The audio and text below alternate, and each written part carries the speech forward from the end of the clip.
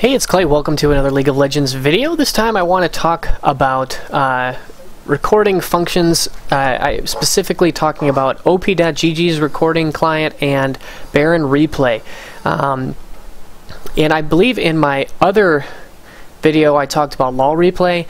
I have had a lot of trouble with LOL replay. For those of you that have sent me LOL re replays and haven't seen your replay being used on a episode of replay analysis yet, it's probably because I'm having such troubles with LOL replay that program is extremely buggy. So I'm going to recommend everyone switch over to one of these two methods. Uh, Baron replay, you go to this website right here. I'll have a link in the description. It is you just download it and install, and then you'll get this program. It is, I think, in is, is this Taiwanese? I don't actually know.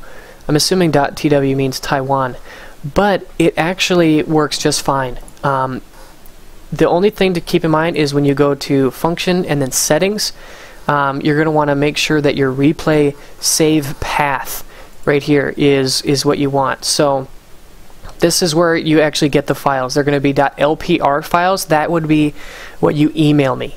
Um, you can do whatever you want for all these other things, but uh, whenever you hit open here, you're going to want to send me this file. These these other files are ones that I've either recorded or ones that have been sent to me that I have um, done recordings on. In my experience, Baron Replay has been very, very easy to use. It, you use it exactly the same way as LOL Replay. You just have it open in the background and it will record your matches. Very, very simple, very reliable, very easy to use. I would highly recommend using this. Another way that has worked really well has been op.gg. Um, and so what you do with this is, first of all, you need to go to find your summoner profile on op.gg's site. If you're on NA, you're going to want to go to na.op.gg. If you're EU, I think it's EUW, or whatever server you're on, .op.gg. Find your summoner name. This is mine, Snowy1. And then what you do is, while you're when you're in League of Legends, um, while you're in the loading screen for a game that you want to record. So again, if you're in a solo queue match, you're in Champ Select and you think, you know what, I think I want to record this game, um, you could do this for every single match if you want.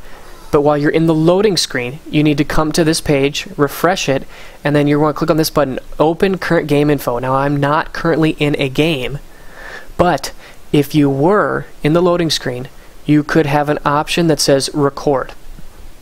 And then what will happen is when that game is over, it'll take a few minutes to render and everything, and then you'll get this little button next to it.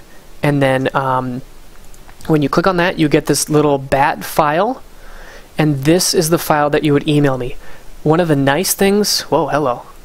One of the nice things about this, though, is that I can go to your op.gg profile and download the bat file myself.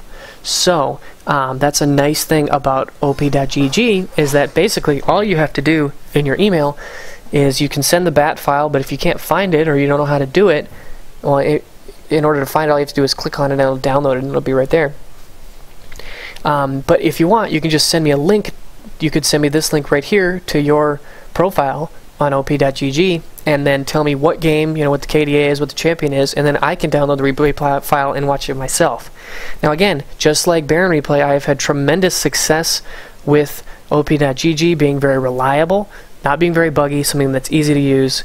So I would highly recommend if you want to have a gameplay submitted, um, I would highly, highly recommend you use one of these sites. You know, if we look at at what I've done so far for my replay analysis showing I've done four of them. I think this first one was a LOL replay file, and then the patch hit.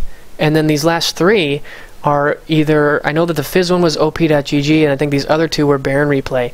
Um, and I, like I said, I have really been unable to get LOL replay working. So, if you want to submit uh, a replay for this show, please send me uh, one of these options, Baron replay or um, a LOL replay, or not a LOL replay, a either a Baron replay or an op.gg. So, anyways, I hope you guys enjoyed this. I hope that this answers your questions for how to record gameplays with Baron replays or op.gg.